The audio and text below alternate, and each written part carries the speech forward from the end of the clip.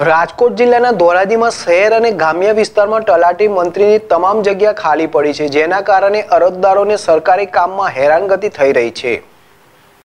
ધોરાજીનું મહેસૂલ સેવા સદન જાણે શોભાના ગાંઠિયા સમાન બની ગયું છે, કારણ એક જ છે કે અહીંયા દરરોજ અસંખ્ય લોકો સરકારી યોજનાઓમાં જરૂરી કાગળો કઢાવવા આવતા હોય છે.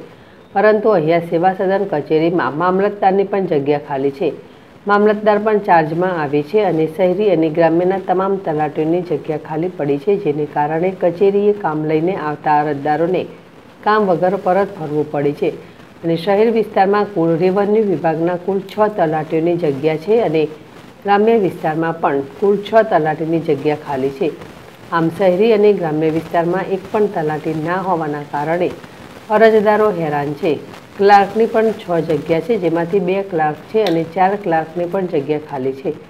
વારસાઈ આંબો, કુવા બોરના પાંચ રોજકામ કરવા બાબત, સોલવાસીના પ્રમાણપત્ર અને રેવન્યુ વિભાગને લગતા તમામ કામો માટે લોકોને હાલાકી થઈ રહી છે. ધોરાજીમાં ગ્રામ્ય વિસ્તારોમાંથી રેવન્યુ વિભાગમાં જરૂરી દસ્તાવેજોની કામગીરી માટે આવતા ખેડૂતોને પણ ભારે હાલાકીનો સામનો કરવો પડી રહ્યો છે. ધોરાજી શહેર અને ગ્રામ્ય વિસ્તારમાં તલાટી મંત્રીની ઘટ હોવાના કારણે મુશ્કેલી સર્જાઈ રહી છે.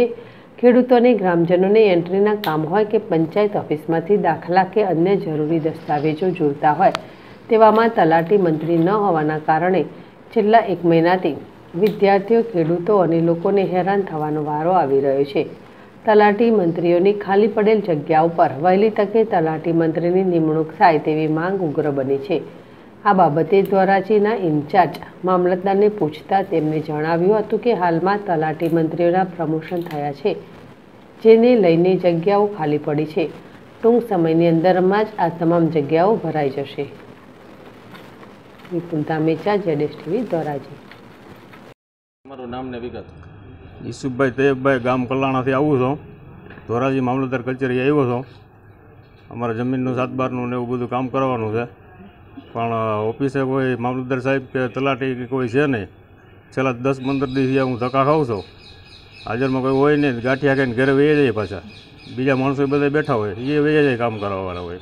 હાલાકી થાય? હાલાકી બધા અહીંયા હું બે બેન વહી જાય બીજા અટણ અમારા ખેડૂત છે અહીંયા તો અમારે પાણી ના ને તેને બધું ચાલુ હોય ને તો આ કામ હટો અમે આવીએ કોઈ બોર ચડાવવા કાક તે બધા ધક્કા થાય છે.